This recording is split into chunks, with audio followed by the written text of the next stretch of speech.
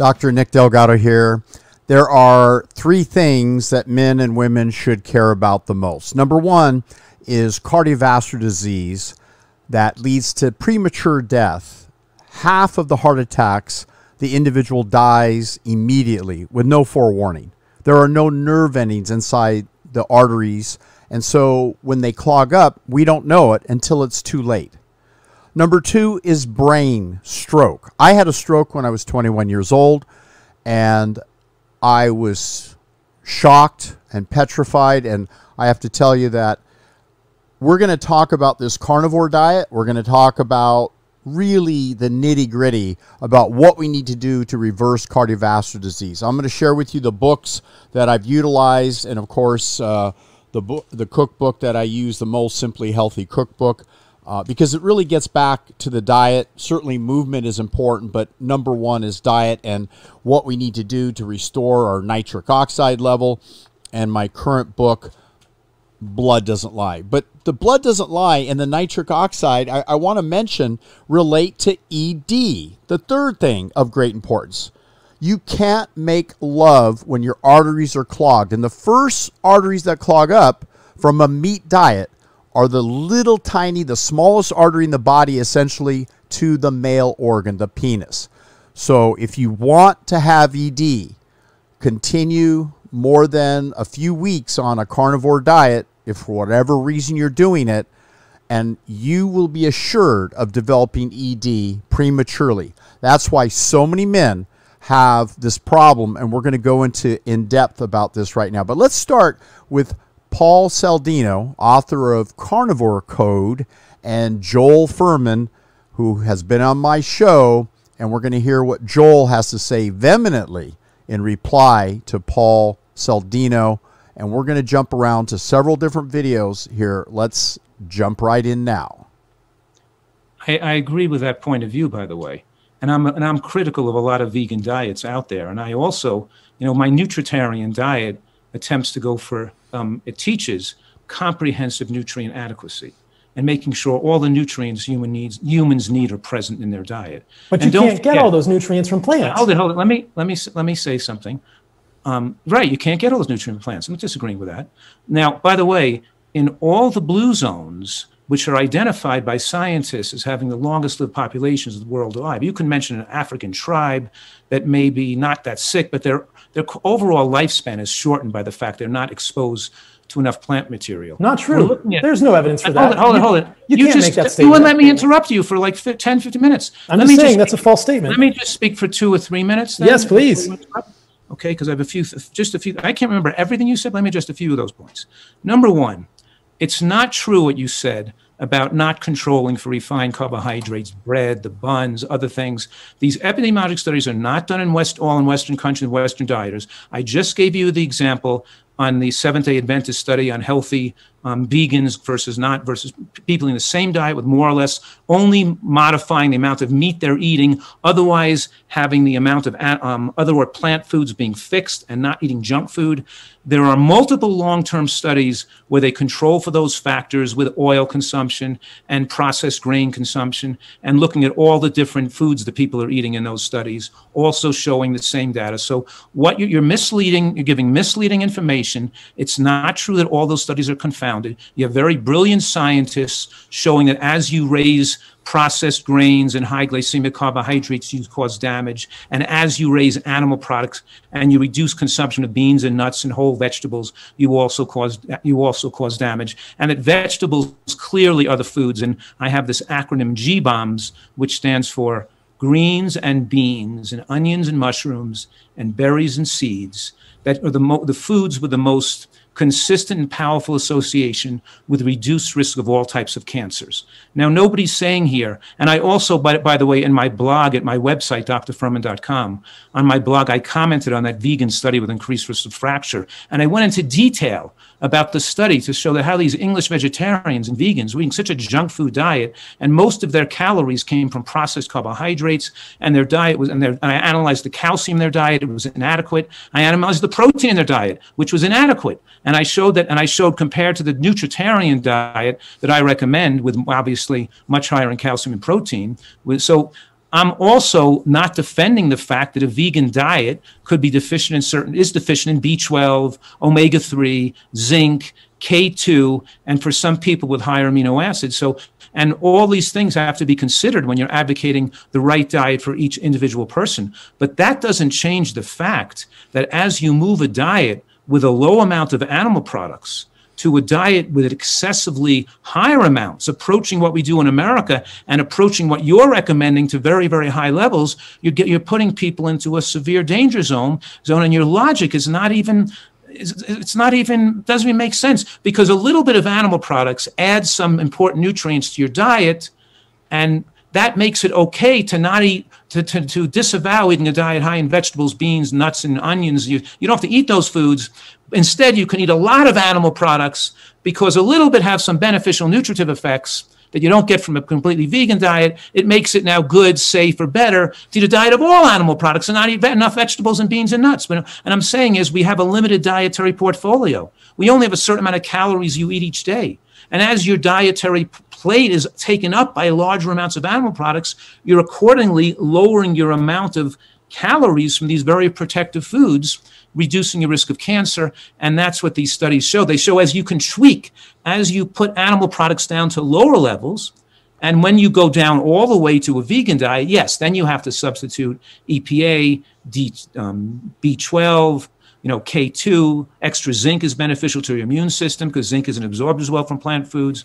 There's a things you have to you there's things you should do that you would get better from meat, and you can accommodate that or use a small amount of animal product. But that's not the argument here the argument that I'm making on this podcast, on this interview, is that the diet style that you and other people are advocating a high amount of meat that are recommending that is too dangerous to consider because the data is overwhelming. And by you disavowing that data, you're doing yourself a disservice and putting yourself at too high a risk and your followers at too high a risk. And um, okay, so I, I think the point is well taken that a plant based whole foods diet is the best way to go to preserve quality health. And in particular, many plant based doctors are using this approach to reverse cardiovascular disease. And it's acknowledged that we need nutrient density, zinc, vitamin D3, vitamin K2, uh, we benefit uh, from these very important phytochemicals and enzymes and nutrients and supplementation. And I am the first to say, having looked at literally tens of thousands of people's samples of tissue, saliva, uh, plaque along the gums of the teeth, looking at microbes here under a microscope, uh, literally for 44 years, I've been examining people's blood and just helping people to understand what I have written about in my book, Blood Doesn't Lie, how to get the nutrient density we need and build up a strong, healthy immune system. This is a very clear, good argument. But what Joel Fuhrman is saying is that these guys, these doctors, so called doctors, Paul Saladino, are moving completely in the opposite direction and saying just throw out all the vegetables, all the fruit, all the beans and peas and nuts and seeds and onions and all the nutrient rich foods and just eat meat? If you want to have ED, if you want to have clogged arteries to the male organ, then just eat meat. if you want to have arteries to the brain clogged, as happened to me by the age of 21, then just eat meat. If you want to have a heart attack prematurely, then eat meat. We know during every worldwide population study and clinical study, and I'm going to show you all the evidence where these carnivore code book followers are trying to debunk the fact that cholesterol is a risk factor, particularly LDL, the bad cholesterol, and it's what clogs the arteries. And we also know that we need nitric oxide. We can only get from plants. You can't get nitric oxide from animal foods. Now, Paul Saladino sometimes says, well, you get phytochemicals and enzymes and nutrients when you eat uh, animals that have had eaten grass fed food but you're never going to get the nitric oxide. You're going to be depleted. Nitric oxide, as you're going to learn during the course of this talk, is essential to vasodilating the blood vessels, to protecting the artery wall lining, and to achieving an erection.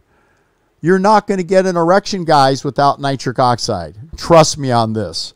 All right, so let's go back. This is really important for you to let it sink in. Maybe you don't worry about your heart clogging up and having a heart attack and dying, or your brain clogging up and being debilitated and having a stroke like John McDougall did when he was in his 20s.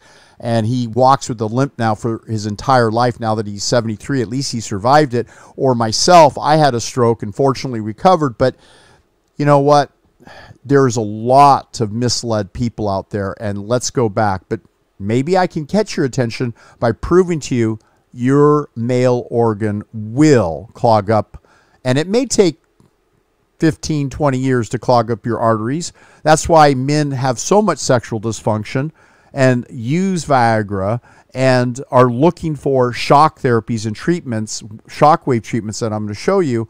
And essentially, a lot of that might help but let's get to the cause of the problem, folks. So let's let's go back to this debate, and we're going to uh, jump around to some other really cool discussions right now. You know the and the idea that, that all these these nutrients that are so important in meat, and I'm saying well, there's there's thousands of nutrients, antioxidants, and phytochemicals that you might get in tiny amounts and a couple of them here and there, but, but it's the huge variety of phytochemicals that has phytochemical synergy. And I can show you studies that adding flax seeds reduces risk of, here's an interventional study on people with breast cancer followed for 10 years, showing a 71% decreased risk of death from breast cancer over that 10 year period. That's not, people, a, you have to be very careful when you're talking about, these are relative risk reductions. These are not absolute risk okay. reductions, Joel. Okay. Like so we're still talking about, we can talk about, that's a different, um, um, uh, absolute or relative. I understand what you're saying. You're inflating the numbers. I'm just giving the numbers it says in the, in the results of the but study. you're not you're not reporting them accurately. So I'm just correct. Okay, he he keeps going back to um, you're not reporting them accurately. Well, there's a good reason. When you're involved with studying human individuals unless it's under a closed laboratory condition, which, by the way, I've probably done more evaluations of people's cholesterol, triglycerides, glucose based on every kind of imaginable diet. I've looked at tissue samples. None of these doctors, none of them are looking at tissue samples to the degree that I am. So, this Paul Saladino, I'd love for him to debate me. I would love for him to show you his blood after he eats meat, and you see the damaging effects of suppressing nitric oxide, the increased levels of LDL cholesterol, which uh, one of his colleagues that we're going to uh, jump along to has admitted to having extremely high cholesterol level. And then they just kind of discount it and say, well, cholesterol is not important. Well, we're going to we're going to get to that here in a moment. So let's let's uh, continue here. Uh, what what we're uh, what we're saying now. Here, let Joel Fuhrman continue. Plant foods, they all have dramatically shortened lifespans. Show me, show me that data. Show me the data. Pause. Show me that data. Show me that data because that their lifespan of hunter gatherers is confounded by higher rates of infant mortality. This is called squaring of the morbidity curve. It is something I have talked about ad nauseum. Okay, so his argument, this Paul Saladino saying infant mortality rate, that the higher rate of at birth that babies die in some of these third world countries. Uh, but when you remove infant mortality rate and you look at past the age of 40, now you see the reality because in the United States we rank 38th in the world and we eat a lot of meat. We eat a lot of dairy product and cheese. But they'll argue, oh, but they eat sugar too. Oh, what are you worried about, Paul? You're going to confound the study? Why are you uh, calling us out on that area? This this is this is known as bias, medical science bias, and you're interjecting your personal belief that eating meat is the best way to go. Totally meat. I'm not arguing that people could eat small amounts of meat starting out at an early age where they don't eat uh, massive amounts of meat like I did that clogged my arteries, I had to then work hard to clean up my arteries and do what I needed to do to save my life and and to work hard to try and reopen my arteries that were clogged, uh, including to the male organ, which set me up to be one of the leading experts in uh, sexual health. So you really have to look at the science closely. And furthermore, I think the other challenge is this Paul Saladino, he's pointing to the Maasai tribe of Africa. Now, here's an interesting story. He'll say, oh, well, the Maasai in Africa eat meat and the blood of, of the cows, and they are free of cardiovascular disease. Based on what? Dr. Mann published those studies, and it was based on treadmill testing. Well, these Maasai tribe herd their cattle 30 miles a day. So they have enlarged coronary arteries, so you don't pick it up on stress treadmill tests. However, Dr. Mann went back 10 years later because everyone kept using his study saying, see, the Maasai tribe eat a lot of cholesterol containing foods and they have no heart disease and they're lean, they're strong, they're fit, they're tall people. And what they did was they did autopsy after these individuals died and they found the most massive plaques in their arteries because they're meat eaters and it clogged their arteries. Also, plaques to the male organ. They have ED even in these third world countries because they eat too much meat. It doesn't matter if it's organic or uh, grass fed or not, cholesterol is permeated throughout the meat. And it's not just red meat. When you switch from a red meat diet to chicken or fish, there's as much cholesterol in tuna packed in water or chicken as there is in red meat for equivalent quantity. So that's why we find that people do so well when they gravitate away from an animal based diet because we have to undo the damage that's been done by these quote carnivore type diets. Now here, here's a guy that's uh, been uh, experimenting with a carnivore diet. Here, let's let's jump into this. Uh, he's talking about uh, one year on a carnivore diet. His name is Rob. He's got a lot of subscribers here. Let's let's listen to what he has to say. The carnivore diet is great for many purposes. It's great for the elimination style dieting. If you have no clue what to eat and you're really unhealthy and you want to kind of like do an elimination protocol, start with the carnivore diet. Every month add in a few foods and you'll have a very easy read for what works and what doesn't work. Except the issue with that is that the plants you'll have an extra sensitivity to plants. So, if you're going to do a carnivore diet or a high fat protein based diet as the elimination style, don't take away all the plants in the beginning because you want to keep your body's ability to digest them so you can decipher which foods work for you. Yes or no? No, for sure. You can't guess with your diet. If you guess with your diet, it's like guessing on a math problem. It's you're not going to get the right answer unless you're lucky. Okay, so I do. Okay, so he admitted, he said, look, if you're going to go to one of these diets, don't go exclusively all meat and eliminate all plants. Now, he's talking about an elimination diet that apparently has been reported to help some people. These individuals have gut problems. They need probiotics, prebiotics. They need to repopulate their their gut flora. They have probably been uh, abused by antibiotics, which, by the way, animal products are loaded with antibiotics. So, what do you think is going to happen to an individual who's had a heavy antibiotic diet? What do you think? Of course, they're going to have clogged arteries and they're going to have a, a, dysbiosis gut and they're going to have trouble at times because their gut has been compromised. They're going to have trouble handling plant foods. If we fix their gut, their gut, leaky gut, and so forth, they can enjoy the right whole plant based foods. And it might be a plant based food that's a little bit easier to tolerate, such as potatoes and yams. Uh, it could be, depending on the individual, uh, even brown rice, uh, and then gradually introduce various fruit and vegetables and get a wide diversity. Let's go to Dr. Neal Barnard, who's written books about reversing heart disease and reversing uh, diabetes. And here is what he has to say. It contributes to cardiovascular disease. So I think of cholesterol as really useful, like dynamite is really useful. If you want to make uh, a tunnel or you want to expand your mind to, uh, or whatever, that's really good. And dynamite will help you do those, but it's something you've got to play with very carefully. Cholesterol is just like that. So in the top artery, you see the blood, the uh, blood cells moving along very nicely through the vessel. The second line, cholesterol particles have oxidized and irritated the artery wall, causing the formation of an ather- atherosclerotic plaque. And in the third line, well, that plaque is ruptured, you're not getting any blood flow anymore, you're having an infarction. Okay, so the red blood cells. I'm your wife. She pu- puts them in the car, they drive to the.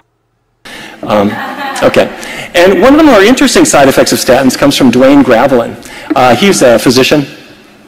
He was a NASA astronaut in training.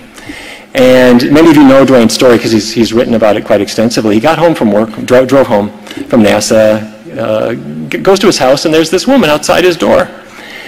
And he says, uh, Can I help you? She looked at him and said, Duane, I'm your wife. She pu- puts him in the car. They drive to the emergency room. She says, My husband has lost his memory. What's the matter? And he starts to put two and two together. And he's got all these memory gaps, including who his wife was. And the only thing that they could figure is he had start, started Lipitor about four weeks before. And they thought that couldn't be it. It's a safe drug. But they stopped it, and his memory gradually returned, as did his hypercholesterolemia. So he started the Lipitor again at half the dose, and within about a month, his memory was totally wiped out for everything after age 13. So the Lipitor was then in the trash, his memory came back, and he wrote to the FDA, and he said, I'm an N of one, but this like was not good. Um, and initially these reports were poo-pooed, but there have now been hundreds and hundreds of, of case reports of individuals having severe memory problems, including individuals in nursing homes diagnosed with Alzheimer's disease that went away when they stopped the statin drug. And they packed their bags and went home. Okay, so I myself uh, experienced trauma because my father was put on multiple medications, blood pressure medications, prostate medications, uh, when he was in his 80s, and he became senile. He couldn't think properly. And one of the dangers of, of statin drugs, by the way, as you can see, the list is uh, these statin drugs. And, and by the way, a lot of these people will say, well, lowering cholesterol is bad because statin drugs cause side effects. Well, lowering cholesterol through healthy eating is good by avoiding animal meat, cheese, eggs, dairy product, but by using statin drugs, there are side effects. And we just mentioned a serious problem of memory loss and worse, Alzheimer's like dementia, muscle pain, liver damage, diabetes risk from statin drugs, increased blood glucose levels, weight gain. Statins are like amongst the number one prescribed drug in the world. So you have a situation where people are clamoring to go to a diet that actually is going to cause you more problem. Meat, a carnivore diet, meat or a keto diet, worse. But these statin drugs are to, are to blame. It's not just the diet. So let's jump ahead now and be clear about what are we doing from a cardiovascular standpoint and why are these crazy carnivore diets so popular but before i get to that i want to mention here's a urologist talking about shockwave therapy which is we're always looking for interventions to try and open up clogged arteries and uh, he's also going to talk about Peyronie's disease, a kind of a, a, malfunction in the growth of the tissue of the male organ, and it causes it to be curved and then painful. But uh, let's hear what uh, Dr. Robert Chan has to say right now, and we'll join him. Here you go. Talk about shockwave therapy for erectile dysfunction and delve into some of the basic questions about shockwave therapy Finally, I'll touch on who's a good candidate for this treatment and more importantly, who is not a good candidate for this treatment. What is shockwave therapy? It's known as acoustic wave therapy or GAINSWave or true pulse as you might have seen on the radio ads or the print ads. They're all the same thing. Basically, it's high energy sound waves. I made this water bath with cornstarch to help show you what these high energy sound waves look like. This is a slow motion shot here. How it actually works in the penis is not fully understood. It's thought that the negative pressures created by the shock wave energy leads to stress on cell membranes. This increases growth factors, which then recruits stem cells, which ultimately results in the formation of new penile arteries. Shockwave therapy is different from Viagra because it can treat the underlying pathophysiology rather than just treating the symptoms. Now, the most important question that you're probably wondering is does it work? There's been multiple randomized clinical trials, which is the best type of clinical study out there, showing that it does work. Let me show you what the machine looks like and kind of how a example treatment might work. Here's a machine. This is called the Storz D-Actor. It's pretty simple to use but basically, it's a giant compressor box that transmit pressure waves through this handpiece. How many treatment sessions are required? 6 to 12 depending on the severity of the ED. How long does each session last? About 10 minutes. Is it painful? Yes. But I do have patients apply lidocaine cream to their penis and scrotum about 45 minutes to an hour before they show up before the treatments so that they don't feel it. How long do the yeah, I, I've had the treatments done. I, I did six treatments. It uh, it's not uncomfortable. Uh, yes, you do need the lidocaine, otherwise it would be. Uh, and it sends a shock wave uh, into along as the device is run along the male organ, and it breaks up these plaques. And uh, the plaques, they didn't come from plant foods. Folks, it's impossible to develop plaques or narrowing of the arteries from eating beans, potatoes, fruits, vegetables, and whole foods. It's impossible. It's never happened. It could never happen. And yet it only comes, let's be clear, from a carnivore diet or a keto diet or even an American diet that the American diet is perverted because it has both the sugars and the simple carbs and the animal protein and the excess processed fats and, and excess sugar and so forth. The American diet is a disaster. So, sure, some people notice slight improvements with a keto diet or carnivore diet, but over time, they won't know that their arteries to their male organ are clogging up. You see where I'm going with this? Guys, this is not the smart thing to do to follow Joe Rogan just because he's gone on a carnivore diet. Let's measure the the plaques that build up in his arteries. Have him undergo uh, ultra fast CT scan and um, angiograms before he has a heart attack because his dick's going to go limp. Oh, did I say that? Sorry. okay, let's let's go further. This is I think educational right now and you need to hear this results last for. The studies show that it can last up to one to two years. Are there any side effects to this? No long-term side effects have been reported. Next, I want to talk a little bit about who might be a good candidate for this shockwave therapy treatment. Okay, so uh, the benefits can last as long as two years. Uh, certainly, that that's impressive and uh, there are people who have what's uh, termed uh, nerve damage, and those individuals may not benefit from this shock treatment. It's really specifically because a vast majority of the ED conditions absolutely come from eating the cholesterol in eggs, meat, of all kinds, meat of all kinds. Even fish, as I said, has cholesterol in it.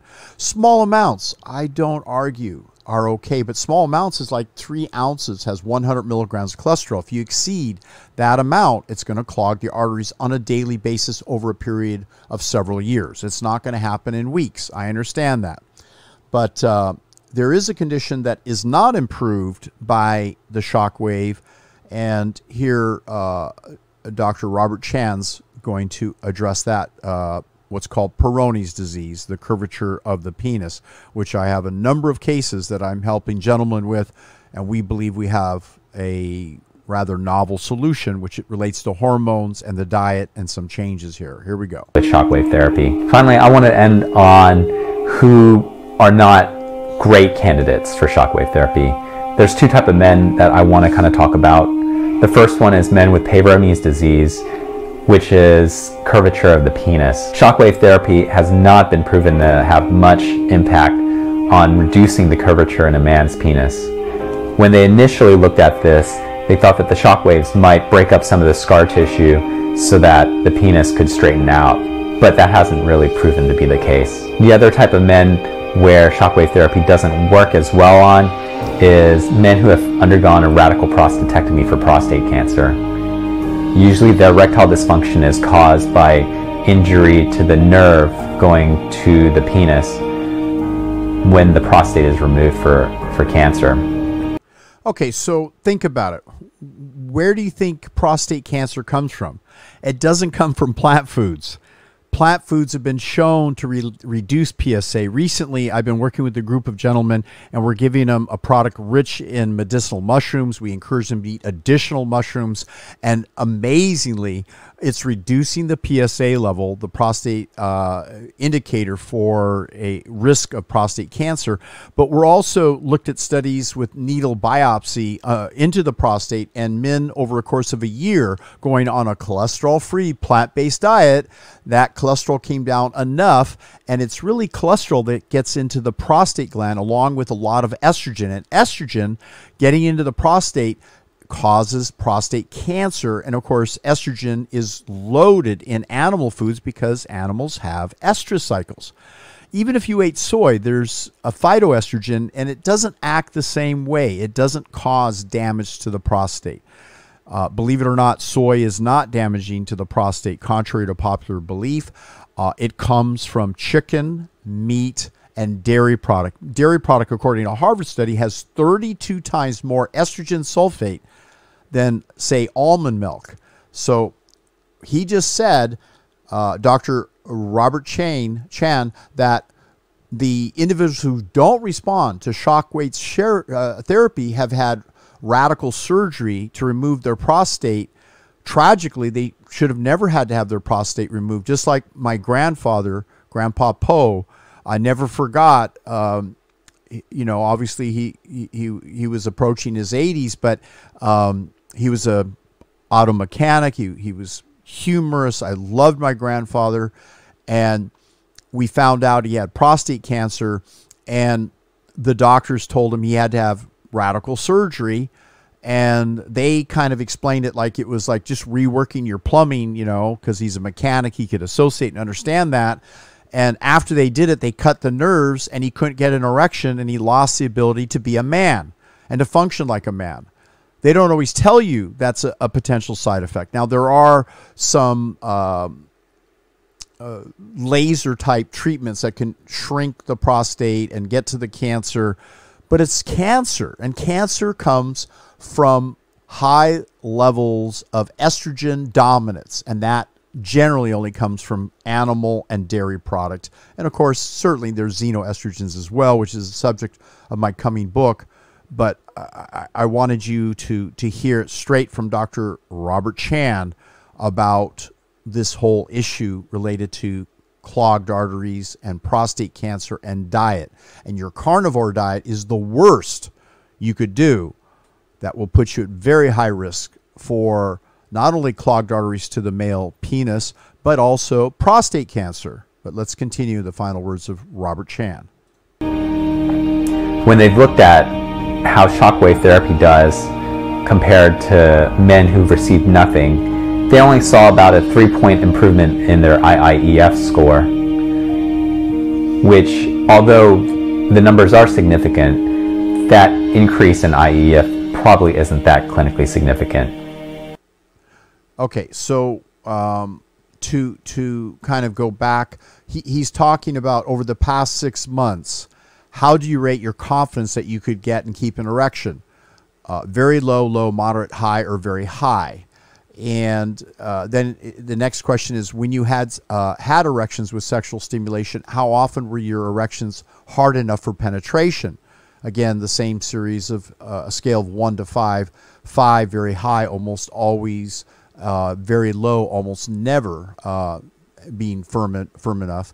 And uh, during sexual intercourse, how often were you able to maintain your erection after you had penetrated or entered your partner? Again, those series of questions one through five. During sexual intercourse, how difficult was it to maintain your erection to completion of, of intercourse? And the last question, when you attempted sexual intercourse, how often was it satisfactory for you? Men are very discouraged with their sexual ability. This is the score of IEE uh, test is a relationship of the sum of the score, and obviously uh, the the the lower the score, if you scored all ones on the five question, that's a, a five, which is essentially you're unable to achieve an erection, um, and if you score very high on your numbers, 5 plus 5 plus 5 plus 5 plus 5 a 25 then that means you're always able to perform under all conditions. And when you do achieve an erection you sustain it which as men get older that's a rarity particular particularly if you're on an animal based uh, heavy cholesterol based diet